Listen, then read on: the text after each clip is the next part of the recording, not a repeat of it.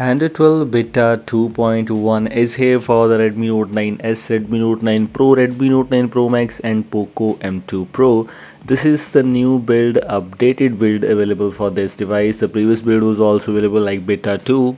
And the thing is, it's just Android 12, that's why users were excited to use this. But let me just tell you, unfortunately you still not be able to use the full functionality and also alongside with that in my opinion in my recommendation i'll not recommend you to use this build because there are some glitches everywhere some lags and a lot more things. But yes still people want to use this build on their devices. It's just up to them but in my opinion i'll not recommend you to use this build on your device.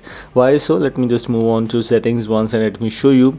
If you if you're able to see you still see some little bit of frame drops some kind of lags everywhere. I'm not sure. Some people were saying that this is quite fast but in my case it's not fast at all. It has a lot of lags and it's not good at all for daily use. I was using for more than some five to six hours for some days uh, some time basically it was not good at all. The battery usage level is now changed as you can see in the default android 11 or other android 11 based custom ROMs you don't have this kind of battery stats. So in android 12 beta 2.1 or i'm not sure even it was available in beta 2 these battery uses things are changed. The graph is looking a little bit different but it looks quite better. But everything else features are quite same like in wallpapers and style. If you move on to the wallpapers and styles you have some five six extra styles options available for you which you can apply on your device without having any issues.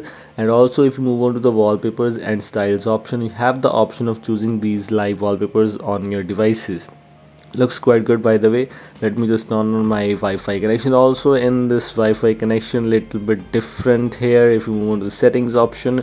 You have this new UI and honestly speaking I was it is actually not a user-friendly UI especially at the first time whenever you're using Android 12 it is a little bit complicated. Someone don't know where is the mobile data connection showing and where is Wi-Fi. You need to click and hold there to come and a lot more different things out there but it's just up to them.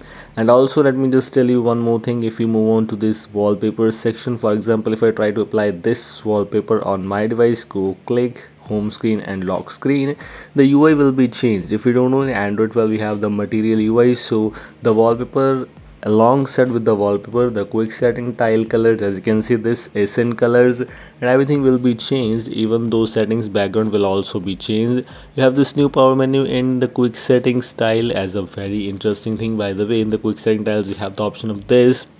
You can also uh, you can also check out this power menu by pressing the power menu but this is the option available here. Alongside with that if you move on to edit these set these quick settings tiles how you can get that simply move on here. Let me just show you by going to this edit option. You also have the option of choosing the camera access and mic access styles so simply just move on here. Let me just show you what these styles will do for you. For example if i block this thing and uh, now on any kind of app will not be able to access my camera and mic in the background. But if i go and open the camera it will ask me to unblock this thing. And yes if i click here it will not ask me any kind of privacy any kind of anything so no privacy but only privacy is in background. No apps will be able to access your camera and microphone. But else things are pretty same. If you open any kind of app like this camera and recorder let me just show you by going into other more things. As you can see now this camera access is available. When I just accepted that but if you move on to the recorder section where we have already disabled that kind of thing get started and just let me just do all these settings here. If I go here it will ask me to unblock the device microphone. If I unblock this it will be unblocked for all the apps which is very very unacceptable. But yes of course this is android and in android related things we can expect these things because this is not iphone in the terms of privacy that's just great. But yes this is all from today's short and simple video regarding android 12 beta 2.1 and if you want to still want to install this build on your device keeping in mind that it's still not good for the daily use you can install it. Because the link is the description. You simply need to install it like other custom ROMs and nothing else. Nothing is complicated. If you want to install this link is in the description. This was all. Thanks for watching. Don't forget to like and share this video. If you're new here goodbye. Have a nice day